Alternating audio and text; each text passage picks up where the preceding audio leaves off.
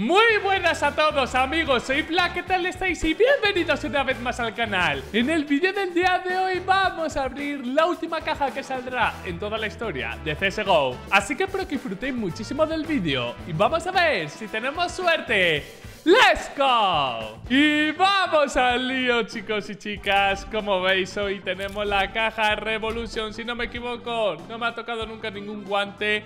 Y de estas armitas aquí, nunca un arma está atrás. Por lo tanto, tenemos mucho que conseguir en esta última apertura que haremos de esta caja. A no ser que digáis lo contrario en los comentarios. Y dicho esto, vamos al lío. ¿Quién me iba a decir que iba a llegar a este momento en el cual iba a abrir la última caja? Bueno, como sabéis, también salió el paquete, pero no tiene nada que ver con las cajas, ¿no? El paquete de la Horus, esa M4A4 preciosa. Y la verdad es que esta caja, como última, no ha estado nada mal. Vamos a ver.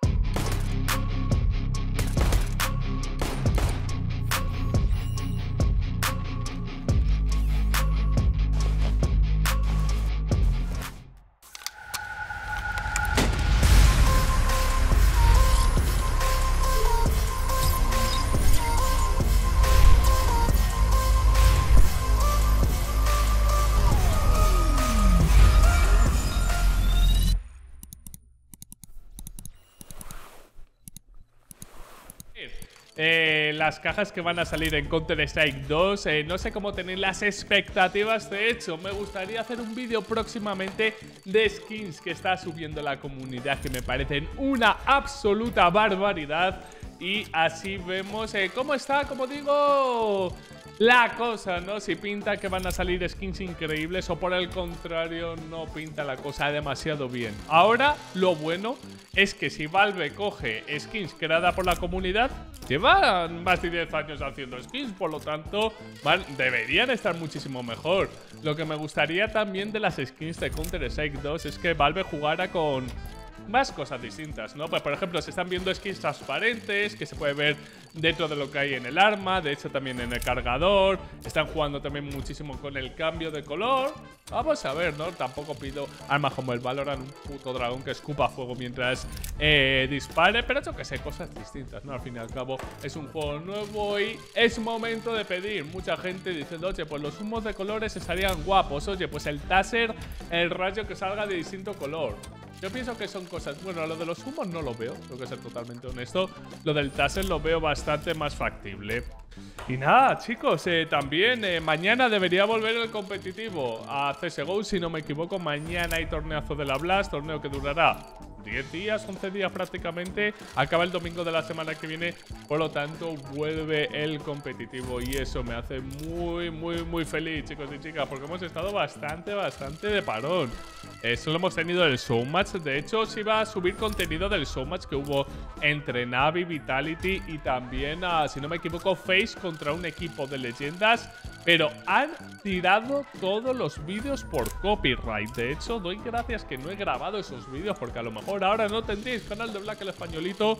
Y la verdad es que me he salvado por el pelo de un calvo, porque es que tenía los vídeos ya para grabar, para reaccionar a ese nuevo roster de Navi, que era la primera toma de contacto, a Vitality por supuesto sin Dupri, y joder, eh, me ha sorprendido bastante la, eh, no, sé la verdad si han sido los propios eh, dueños del evento que no han querido que, Bueno, que solo hecho querían tener el monopolio de las visitas. Yo pienso que es contraproducente, pero bueno, ¿no? Al fin y al cabo, cuanto más gente vea tu evento, mejor. Y poquito más, chicos. esperando a que salgan noticias de CSB2, por supuesto. no sé si esta semana ya deberíamos probar distintos mapas, ¿no? Porque yo tengo aquí mi hipótesis, ¿vale? Verano. ¿Cuándo acaba verano? Si no me equivoco, en septiembre, ¿no? Ah, ¿Y qué es lo que ocurre? Eh, ya queda bastante poco. Debería salir el mapa de Inferno para testeo. Debería salir el mapa de Overpass. Debería salir también el de Vertigo, aunque creo que no va a haber mucho cambios. los que más cambios van a haber son Inferno y Overpass. Y me da la sensación que no llegamos a finales de agosto, que es como la fecha que tengo yo en la cabeza, porque es el aniversario de Counter-Strike 2. Tengo esa fecha y no sé si se va a cumplir. Eh, ¿Cuáles son vuestras porras? Venga, decídmelo en los comentarios. Decidme por Black. Yo creo... Mira, antes he grabado con Virus, que es el vídeo que visteis ayer. Y me ha dicho, yo Black creo que va a salir a primero de agosto. Sí, yo, yo, la verdad que me extrañaría. Yo como digo, tengo en mi cabeza el aniversario. De hecho, tengo un viaje a, a Los Ángeles para, para ver las finales del mundo de Valorant y creo que lo voy a cancelar porque cuando va a ser el Counter 2 y quiero estar aquí para estar subiendo ese contenido, vamos, de primera mano. Así que nada, vamos a ver cómo va avanzando todo. tengo muchísimas ganas de Inferno y de Overpass. ¿Por qué motivo? Ojito la VP preciosa. Recordamos VP que fue cambiada en Factory New. Vamos a ver cuánto vale.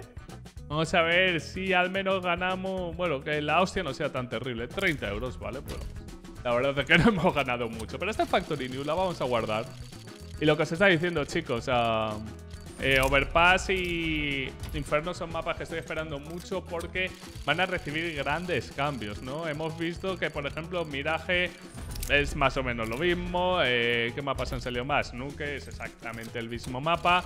Y yo lo que quiero ver, chicos y chicas, son mapas distintos, ¿vale? Quiero ver eh, cómo los han cambiado, por qué los han cambiado, si están mejor, peor. Eh, 2 es exactamente el mismo. Y no sé si van a sacar esos mapas. O sea, yo sacaría todos los mapas en, la beta para que cuando salga finalmente salga lo más pulido posible. Porque imaginaros que sale el juego y de repente hay bugs como los que pasaban estos días, ¿no? Que en Mirage y en Nuke hay gente levitando por el puto aire. Pues esas cosas, si las pueden evitar, mejor que mejor, por favor, ¿eh? Porque con las ganas que tengo de jugar, porque no tengo aún la puta beta, con las ganas que tengo de jugar, os podéis imaginar, ¿no? Que cuando uh, empiezo a jugar quiero que esté todo niquelado, ¿no? Que la gente que le ha estado dando bombo... Oye, ya que habéis estado jugando tanto que haya servido de algo. Ay, seguimos con nuestra mala racha, ¿eh? No sacamos un dorado ni aunque nos paguen. no sé si estaréis ya cerca de las 2000 cajas para que veáis, ¿no? Para que veáis eh, cómo va esto. No sé One Pixel, que lo de One Pixel es peor, ¿no? Que son 134 mil dólares para sacar 5 mil dólares. Eh, no he llegado a subir el vídeo, por cierto, de lo de One Pixel, porque cuando me puse a contar las skins que de verdad valían la pena, me pareció un vídeo bastante tristón, ¿no? Decir, bueno, ha abierto todo esto y ha sacado nada. Para que la gente... o sea, para mí, los paquetes Hoverstone, las cápsulas esas de Kato y, y Power y todo eso para mí es. Si las tienes es para inversión. Y no, es que si las abres es que tienes tan poco porcentaje de ganar. Hay gente que sé que gamblea. Y yo, de hecho, seguramente abriría alguna por si tuviese el dinero, ¿no? Por, crear contenido sobre todo. Pero es que abrirlas tiene tan poco porcentaje de ganar. Estuve dando cuenta que. Oh, porque dijo un dato de que para sacar las eh, moradas de, de la Power había como un 20% de posibilidades o algo así. Mira, track al menos. Y claro, que te toque encima de tu pegatina me parece que salía un 2,5%. Es como, si te sale, ganas muchísimo dinero, pero es la, la... Tan poco probable que te salga. Y con los paquetes souvenir de... De la Dragon Lore es más, de lo mismo. ¿Sabéis cuál es la probabilidad que os toque una Dragon Lore? Una entre 4000.